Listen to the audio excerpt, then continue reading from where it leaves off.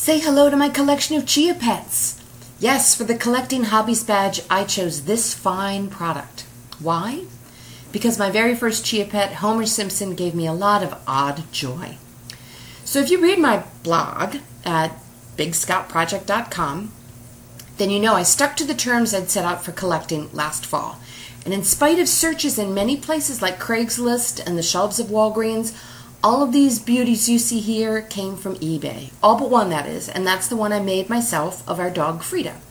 And you'll see in a moment how well that worked out. So I prepped the seeds and I prepped the planters by soaking both in water for 24 hours. And I prepped my husband for the fact that I was about to take over the patio table. And I watered every day and misted too since it's summertime here in Texas and it's it's it's hot out here, people. Here we are, a few days into growth, and I'm seeing green everywhere except Frida. Yes, it turns out Frida's made of the wrong kind of clay altogether.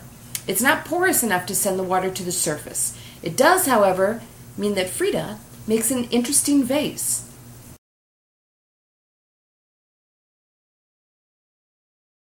So these pics represent about two weeks worth of growth, after which they started looking, you know, just a bit shabby.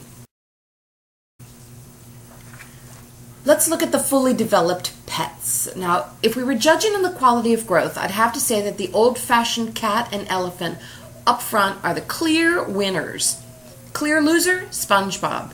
I'm not sure what happened to him, but he never he never got more than a couple dozen short sprouts. Now, the thing about collections is that you need room for them. They don't quite feel right in the living room, and my office is already so crowded, there's, there's really no good place for them there either. So I've decided to give them each a home in the backyard where they can stay year round in between periods of growth. They're my own version of the garden gnome.